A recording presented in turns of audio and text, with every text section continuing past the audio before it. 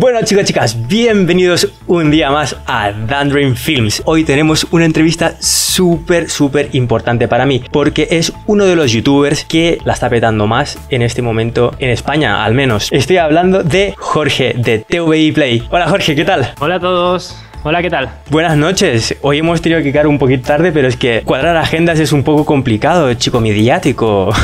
Sí, sí, bueno, es que con tantos proyectos, no solo yo, pero tú también, con tantos proyectos entre los dos, entre manos, es, es complicado. Lo digo por ambas partes, la verdad es que estoy a tope yo. De hecho, que esto lo estoy grabando casi un mes y pico antes de publicarlo porque ya me veo la de trabajo que me viene. Está bien, está bien prepararse las cosas con tiempo. Yo también lo suelo hacer y dejarme cosas preparadas antes. Sí, porque si no, luego, sobre todo tú y yo que hacemos animación stop motion y hacemos mm. estos espectáculos para Navidad, que hemos colaborado muchas veces juntos y que ya tenía ganas también de hablar, tenía una entrevista, unos minutos contigo en plan de conocernos un poco más. Sí, sí, porque en directo sí que no, no habíamos hablado nunca, siempre pues por WhatsApp, por Instagram y tal, pero en directo no. Hemos colaborado mucho, pero en directo no, no habíamos hablado nunca. Es súper curioso todas las veces que hemos colaborado juntos, porque ya van años. ¿eh? Yo creo que la primera, la primera vez que hicimos así una colaboración fue en El Hormiguero, que vino Mike de invitado eh, en los primeros programas. Sí, sí, sí, hace muchos años. Bienvenido, Mike. Hola Pablo, gracias por invitarnos, estamos súper agradecidos de estar aquí. Qué bien que hayas venido, Mike. Vamos a explicar quién es Mike para quien no lo sepa. increíble. Bueno, pues como te decía, vamos a entrar de lleno en las preguntas del mundo Playmobil. La pregunta más puñetera, estoy convencido de ello, y que más gente te hace es ¿cuántos Playmobil tienes? Bueno, pues yo creo que al igual que casi todo el mundo, eh, perdí la cuenta hace tiempo y pues creo que debo de tener en torno a 1500 o una cosa así, no lo sé. Más o menos tiene que andar por ahí la, la cifra. ¿Pero lotes o figuritas? No, no, figuritas. Lotes sería ya una barbaridad eso. ¡Wow! Increíble. ¿Pero qué tienes en plan un, box? Eh, ¿Cómo es el estudio de TV Play? Para quien no lo conozca, un resumen. Bueno, pues está casi todo está montado siempre. O sea, tengo una parte que es una mesa grande con, lo que serían los estudios de televisión, en los que están los programas, los platós y tal. Aparte, en esa mesa hay como una especie de exterior de los estudios con unas calles que son todo edificios de Playmobil y normalmente pues suelo tener los Playmobil por ahí colocados. Luego sí que tengo eh, partes de mi pueblo recreadas en, en, versión Playmobil, pero ya no es con edificios de Playmobil, sino con edificios de Porexpan que son también como trocitos de ciudad o incluso el interior de la iglesia que también están un poquito colocados por cada zona, aunque es como en el cine, que no está todo conectado, sino que está una parte por aquí, otra por allí, el interior de un sitio está en otro sitio, está, está un poquito así. Y normalmente suelo tener casi todos colocados y bueno, luego tengo cajas y algún almacén por ahí también. Bueno, trocito, la iglesia, la iglesia precisamente un trocito no es, porque sí que por fuera quizá la fachada es un trocito, pero el interior... Es increíble. Ahí, está el secreto. O sea, la fachada es muy pequeñita y dentro de la fachada no hay nada, pero luego te vas a otro sitio y está el interior y es, es el interior yo creo que es cuatro veces más grande que la fachada. Sí, pero te digo, en el sentido que me, llama la atención el nivel de, de, detalles que tiene todo, ¿sabes? La iglesia por dentro. ¿Eso es obra exclusivamente tuya o hay más gente en el equipo de TV Play que te ayuda no, no, es, obra totalmente, totalmente mía, así que eh, cuando se me iba echando el tiempo encima de Semana Santa, que yo todos los años lo hago, eh, eh, mis padres me ayudaron un poquito a pintar algunas paredes, los suelos, cosas grandes, porque si no, no me iba a dar tiempo. Y de hecho, en estas fechas más o menos, el año pasado se estaba terminando el, decorado. O sea, en estas fechas de, estamos grabando esto a finales de enero. Pues más o menos, a estas fechas se estaba acabando todo. ¡Wow! Increíble. Bueno, vamos a, por otras preguntas un poco más así divertidas. ¿Cuál fue tu primer Playmobil? Pues pensaba que iba a tener que buscar más, pero eh, los tenía muy a mano. O sea, he abierto una caja y digo, venga, aquí tiene que estar uno de ellos y estaba el primero. Y ahí estaba. sí. Pues mis primeros Playmobil fueron la granja de los años 90, ahora mismo no me sé la referencia, pero bueno, fue una granja que yo creo que sí, mm, casi todos los niños de mi edad lo han tenido o, bueno, por lo menos casi todos recuerdan el mítico anuncio también que había en televisión. Sí. Y bueno, pues fueron estos dos Playmobil que venían, venían en la granja. No los tenía con los sombreros y tal, y los he estado buscando y también los he encontrado rápido, y bueno, pues venían así los, los, Playmobil. Ya ves. Sus sombreros y no venían no venían ningún ninguna figura más, pero venía todo el edificio de la granja que por ahí lo tengo también guardado. A mí me gustaban mucho los pollitos. Quedan tan pequeñitos. Los tengo por ahí también, los tengo, los tengo a mano. Bueno, debes tener todo muy organizado para haberlo encontrado tan rápido también. Llevo teniéndolo organizado poco tiempo, la verdad. O sea, hace un año tenía todo pues más desperdigado, pero ahora pues me he organizado más en cajas, en sitios en los que no tengo nada, pues pongo los animales juntos, los tengo aquí todos. Eh, luego tengo una caja con todos sombreros, todo eh, pues pulseras. Claro. Está organizada la cosa un poquito. Bueno, ya es lo que mola, ¿no? Cuando ya tienes tanto, tenerlo todo así a mano, en plan de, necesito un gorro, cajón de los gorros, ¿no? Sí, sí, sí. Y más o menos luego, cuando tengo un Playmobil en el decorado, también me suelo acordar de dónde está. Digo, pues este está sentado en, el plató del hormiguero, este está en un banco en la calle, este está en la iglesia. Más o menos siempre sé dónde está cada uno.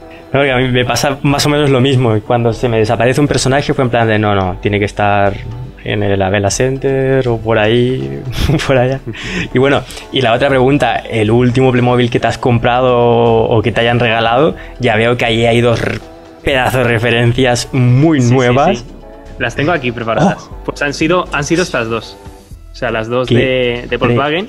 Y bueno, pues como última podría decirse que fue la furgoneta porque fue la última que abrí. O sea que sería sería esta. Que bueno, que tengo que hacer un unboxing en el canal. Supongo que cuando estén viendo la entrevista ya, ya la habré. Ya estará publicado. Tengo que grabarlo. O sea, pero ya lo has abierto y vas a hacer un fake unboxing o ya lo tienes grabado y hay que editarlo. Es que yo nunca he hecho un unboxing de verdad. O sea, eh, siempre enseño ya las cosas montadas porque no, no me espero. Siempre me llega la caja y lo, lo, abro enseguida. Entonces, pues enseñaré lo que es la caja y lo, lo que viene. y ¡Qué ansias! Abrir, abrir. si Playmobil viniera un día y te preguntara cuál sería tu caja de los sueños, es decir, puede ser una referencia nueva creada exclusivamente para ti o quizá una referencia que ya se ha editado antes, una reedición un mix de referencias. Bueno, yo creo que está un poquito clara mi respuesta. A mí me encantaría que sacara Playmobil alguna línea dedicada solo a, la televisión. Sí que han sacado cosas eh, como una unidad móvil que hubo antigua, que estuve un montón de años detrás de ella y la conseguí al final. Tuvimos también los, eh, los motoristas de la Vuelta Ciclista que eran de TVI, que de ahí viene el nombre de mi canal. Esta. Sí, esa, efectivamente esa. Pues de ahí viene el nombre del canal. Me encanta esta. Yo también, pues sí, al, sí. al principio mi canal era para mí, pero nunca llegó a YouTube. Pero para mí era TVI, claro, era la televisión de los Playmobil. De muchos niños, eh, pues venía de ahí el nombre del canal.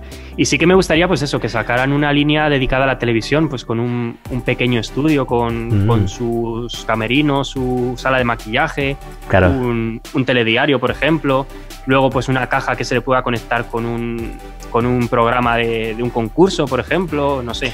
Creo que pueden salir cosas bastante chulas. Es curioso, ¿eh? Hemos visto que en el catálogo van a salir Playmobil youtubers, influencers, pero en cambio la televisión que ha estado ahí, o, el, cine, el cinemano me comentó que le gustaría una entrada y un cine antiguo, un estudio de rodaje antiguo de los años así de la época dorada, también sería interesante. Sí, creo que lo tienen un poquito olvidado porque mm. eh, cosas de televisión ya últimamente solo salen en, las cajas de, fútbol, un poquito un reportero y un cámara siempre.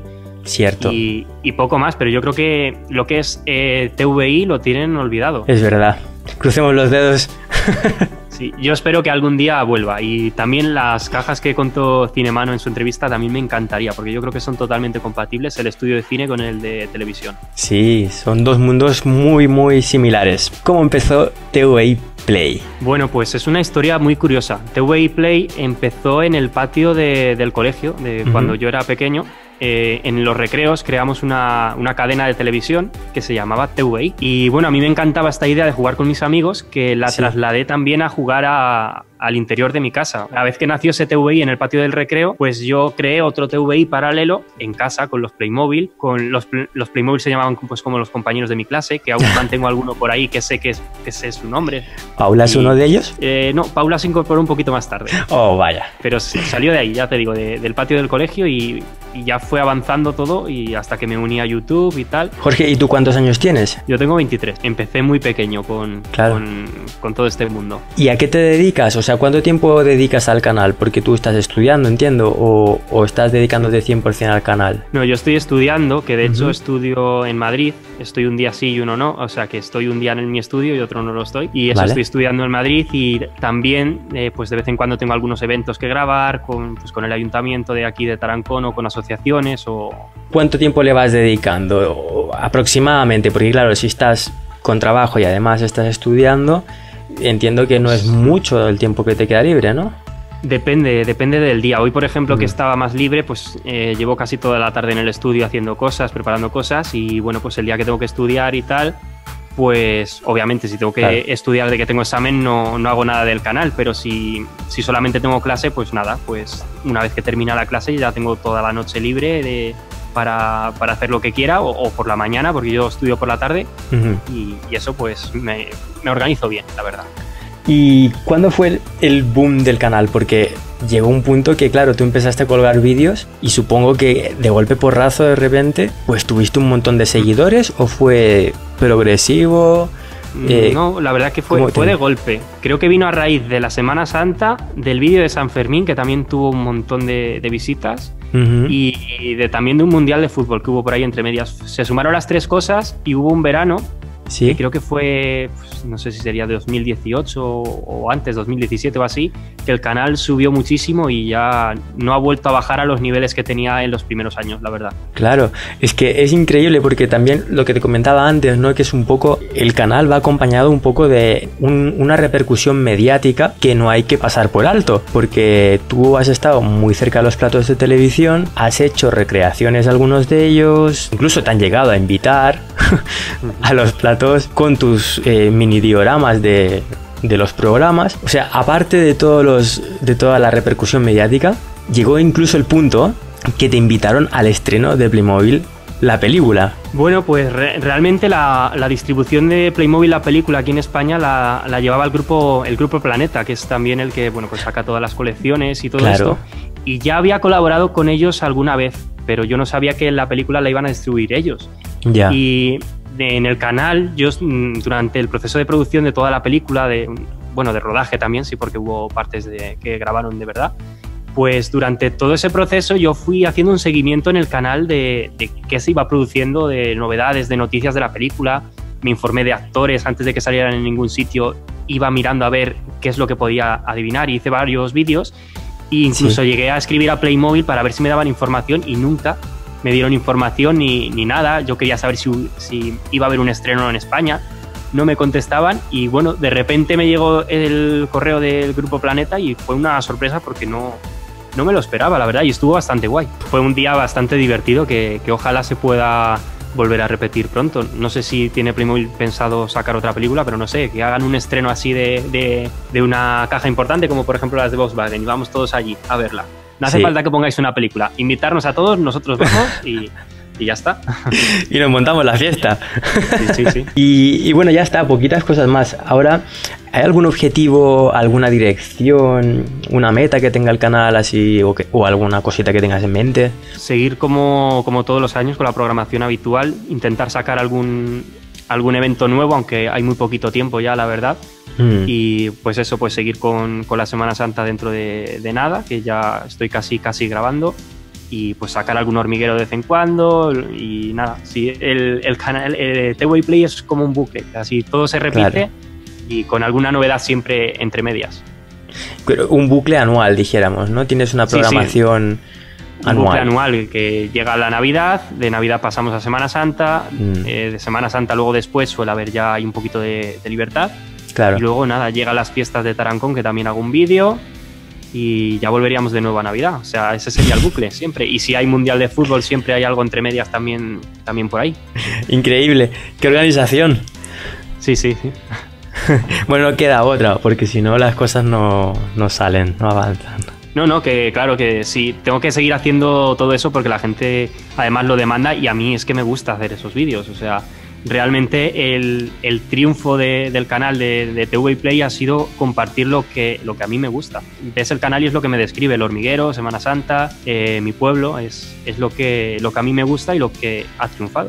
Lo comentaba con Oliver también, que es como una manera de expresarte, ¿no? De alguna manera, porque quizás un dioramista pues expone sus ideas y, y proyecta algo que está dentro de su mente al público que va a ir a ver los dioramas, ¿no? Y en cambio tú pues también expresas, ¿no? Tu esencia, ¿no? En todas tus producciones y eso es lo, lo que, lo que nos tiene a todos tan enganchados a tu canal.